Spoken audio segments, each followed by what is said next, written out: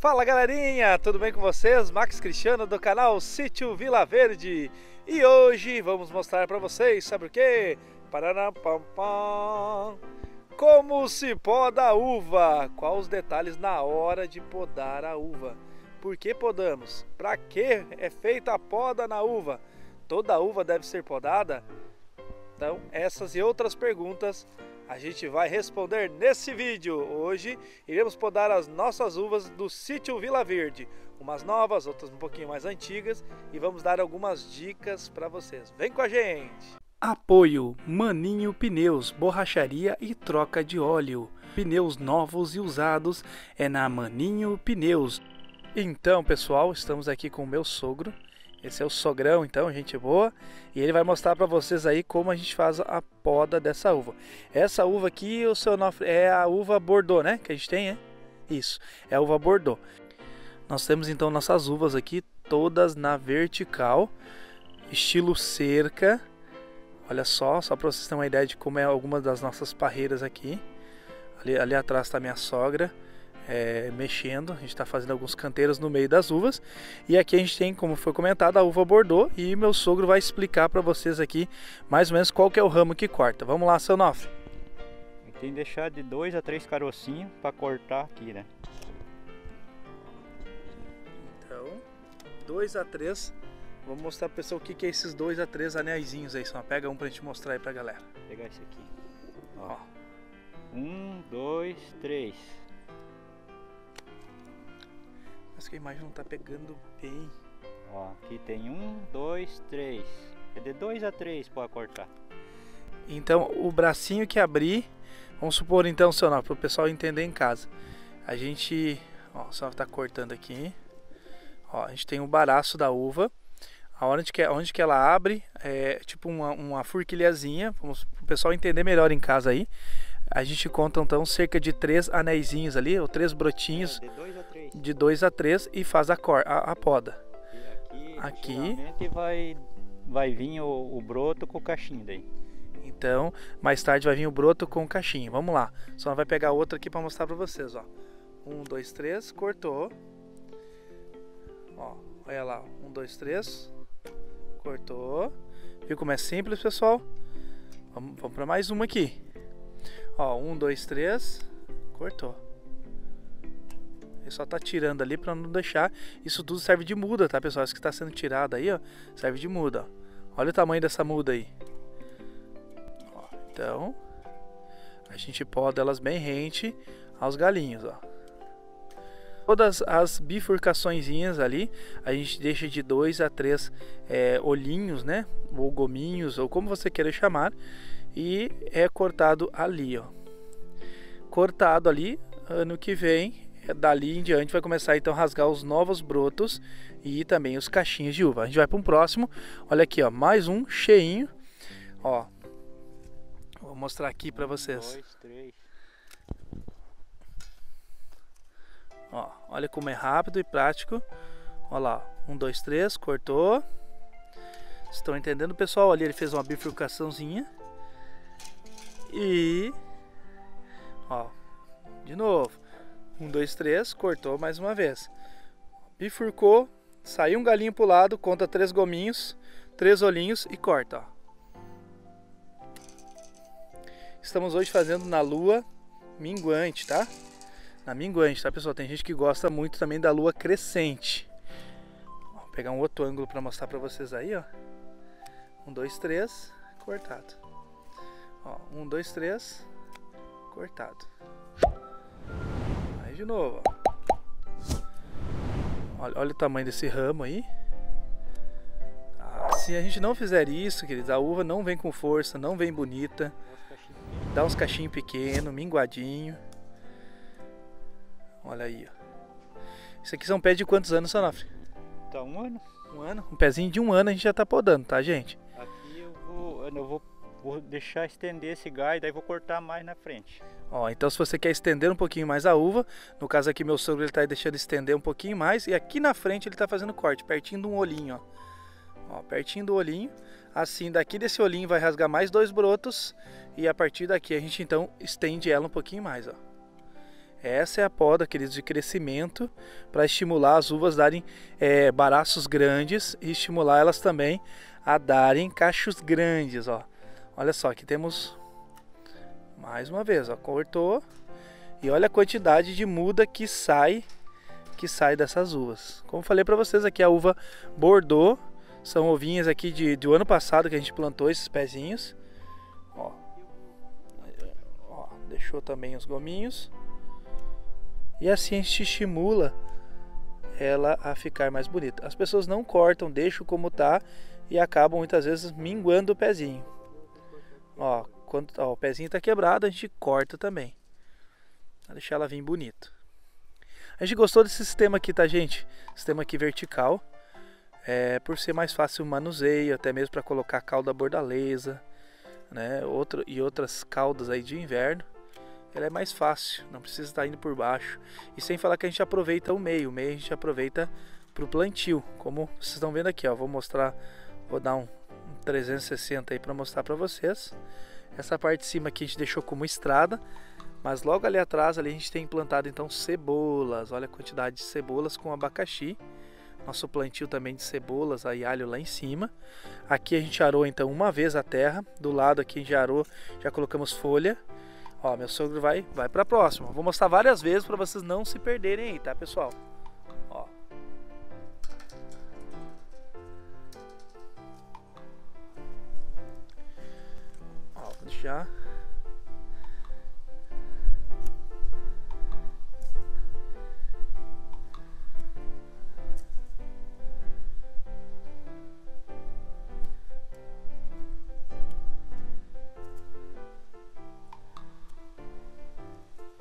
Então, mais um pé podado aí da nossa uva.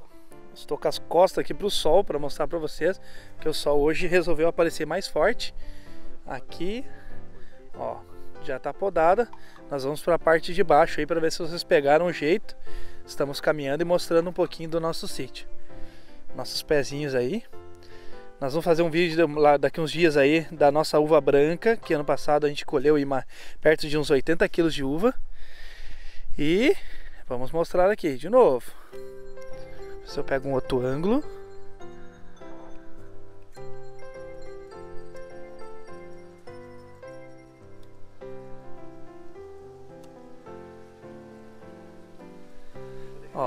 Esse aqui que se estendeu se amarrou, se amarrou o arame, é, o sonófilo já vai deixar só na ponta. Isso você também pode fazer com um dos galhos, caso queira, né? Não é bom fazer com todos, né, sonófilo? Senão ela fica fraca, ó. Ó, eu tô caminhando aqui para vocês, ó. Isso aqui a gente arou há uns dias atrás, rasgamos a terra, que a gente quer fazer vários canteiros aqui, ó. Do outro lado ali, onde é que tá o seu Nofre aqui, meu sogro, é a gente colocou já folhas com esterco de galinha e vamos virar a terra para fazer um canteiro.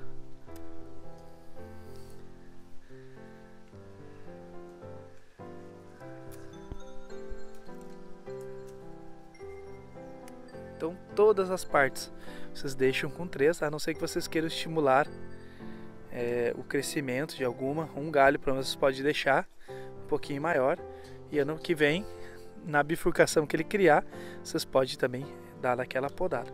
A gente faz assim dessa forma bem simples, tá? E sempre deu super certo aí. De uma forma mais prática aí para vocês, pra vocês não se perderem.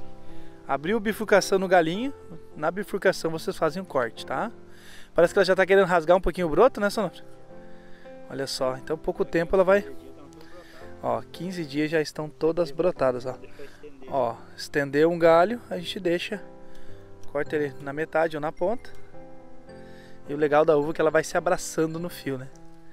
Olha isso aqui. Olha a quantidade de, de galho aqui, hein? Enquanto ele está cortando ali, e vocês já pegaram a dica, a gente vai mostrar também, como vocês já viram nos vídeos anteriores, o nosso sistema de irrigação. Todas as nossas uvas passam uma mangueira assim, ó, por cima dessa. Essa é mangueira do que? Você não vê? Meia? Um 3 quartos? Meia. meia, mangueira de meia, ó, gente. Então, essa mangueira de meia, a gente fez um furinho bem em cima da uva e a gente coloca então aqui nessa ponta, é, aqui nessa ponta aqui, ó, tem um registro e lá em cima, lá no morro, tem, tem outra caixa d'água de mil litros com outro registro que abre para todas aqui. Então a gente consegue irrigar todas as nossas uvas. Diferente se for da água do verão, do inverno, a gente tem água na caixa aí para não deixar as uvas ficarem na seca. E brevemente estaremos ampliando todas elas para a parte então é, das frutíferas do nosso pomar aí, todo o nosso sítio irrigado. Olha, essa aqui cresceu bastante, hein, Sonoff? Oh, olha aí, ó. Essa cresceu bastante. Aí. Ó. Eu, tinha medo. Ah, o pitoquear tudo a minha uva. Eu achava que não dava mais, né? Que às vezes ia morrer. E é, e é o contrário, ela, ela vem a brotação, parece que vem mais viçosa daí. mais bonita. Então no, no início o Sonov tinha medo de podar, porque podava bastante, pensava, poxa, pitoqueou tudo. Mas ele aprendeu e viu que precisa, ela, ela precisa dessa poda, senão não dá nada, queridos. Pode até dar o primeiro ano, mas depois não rende. Tá com 4 anos. Olha, tem, meu sogro está falando que tem ali um pé de uva de mais de 10 metros de comprimento e ela tem 4 anos e grossa, né? Bom, depois a gente vai lá ver mostrar pro pessoal isso, Onofre. Meu sogro, ó, sogro, minha sogra é sempre ativa aqui também no sítio, gente. Se não fosse eles, a gente não faria praticamente tudo aí. São uma mão na roda, ajudam a gente muito mesmo. Tamanho do pezinho de uva e a gente precisa também fazer a poda dela, gente. Por isso não tem tamanho tem tamanho, não tem idade. A gente vai pro próximo. Esses aqui são pequenininhas. A gente só quebrou um galinho e colocou.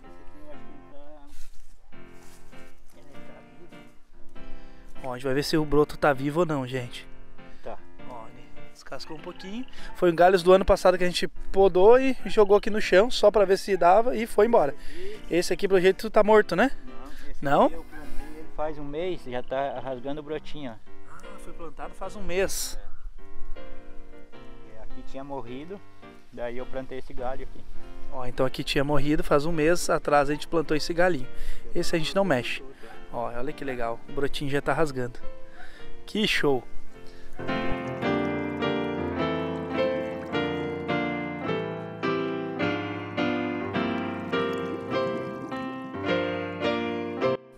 Gente fica olhando né, um pezinho tão pequenininho, podando ele.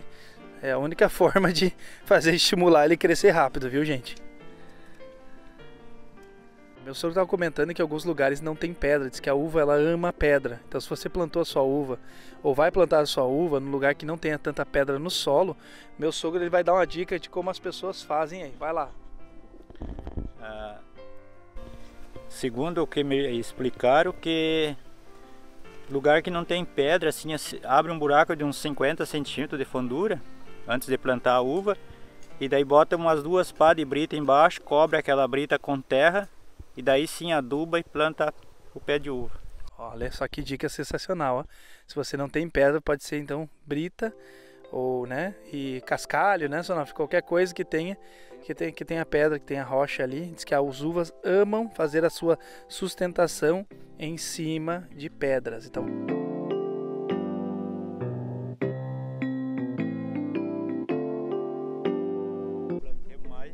porque cavou 40, 50 centímetros dá na pedra glês.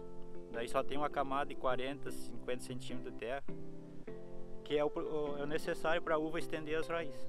Ó, viu? Então a gente tem nesse lugar aqui, nessa parte aqui, por isso a gente está fazendo os muxões, a gente escolheu justamente para uva. Porque na parte de baixo aí, meu sogro disse que 50, né? 50 daí para baixo, tem um pouquinho de pedra gresa embaixo, então para uva ela ama porque ela espalha suas raízes. Olha aí que interessante. Se você tem um, um local onde que tem muita pedra embaixo, ó, dá para dar uma repensada aí para fazer o plantio de uva.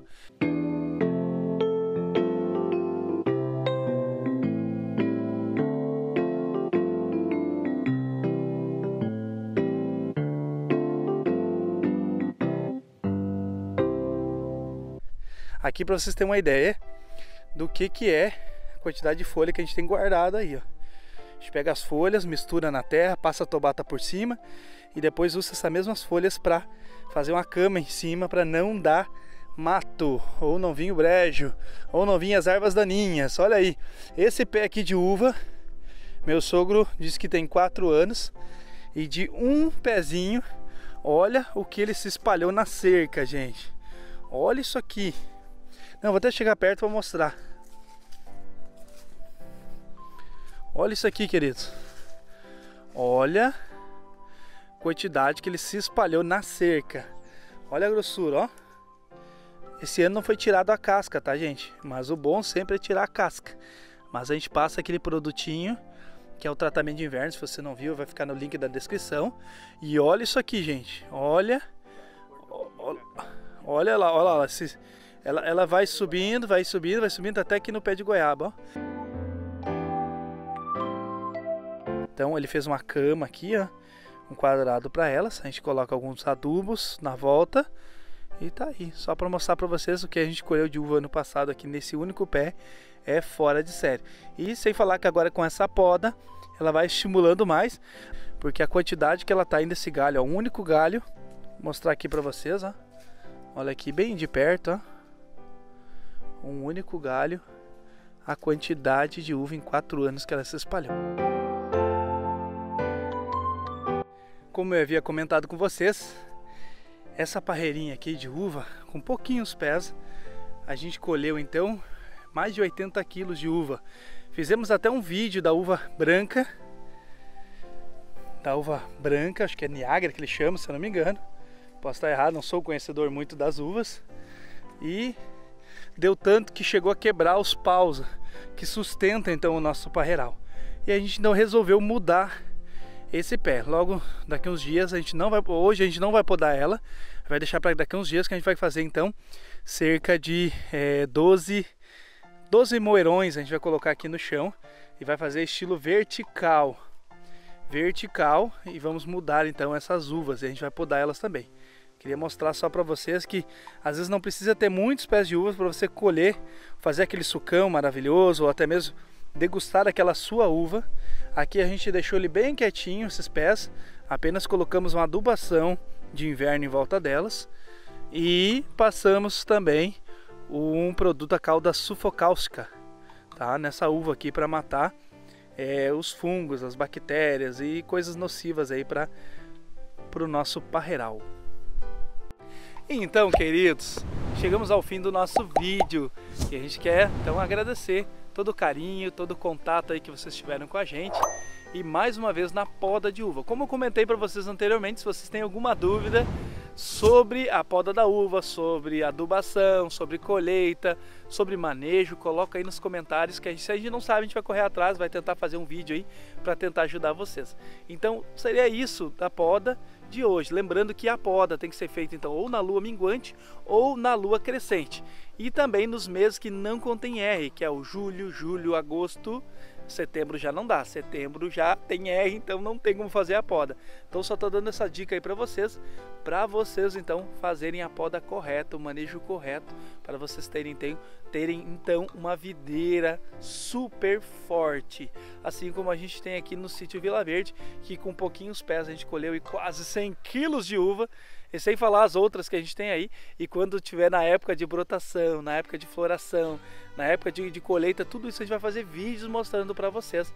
Assim vocês têm uma ideia de mais ou menos como é que é, é morar no sítio, morar no campo, ter uma terrinha e cuidar das suas próprias videiras, do seu é, do seu arraiar de uvas, tchê. tá bom, queridos? Um grande abraço, obrigado pelo carinho, obrigado por vocês estarem até aqui com a gente. Não se esqueça de deixar aquele likezão, se inscrever no nosso canal e né, maratonar os nossos vídeos aí. A gente tem inúmeros vídeos, entre inúmeros assuntos. Se vocês não encontrarem algum assunto aí relacionado a, a sítio, a campo e assim por diante, coloca aí nos comentários para nós que a gente vai tentar fazer um vídeo mostrando aí para vocês. Tá bom, queridos? Um grande abraço, fiquem todos com Deus e até a próxima, pessoal! Param, pam, pam.